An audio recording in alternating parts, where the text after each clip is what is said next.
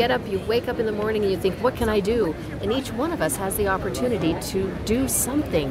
And so engaging people at all levels uh, across the globe is critically important. So I'm uh, so grateful about this interview and uh, and uh, the end of interview, uh, interview. I would like to have the you- last two questions. Uh, what do you think about the organizing the summit in Egypt, in summit in Egypt? Do you want me to talk to the camera or to you? Yes. To you? Yes. The organization of COP27 has been exceptional. I've had a chance to uh, walk around and observe most of the different areas, and I can tell you that the energy that I've felt, the organization that's uh, taken place, has been uh, has been quite exceptional. And uh, certainly, the people who have worked on this should be enormously proud. And uh, we're just really glad that we had a chance to be here. Thank you. Thank you very much.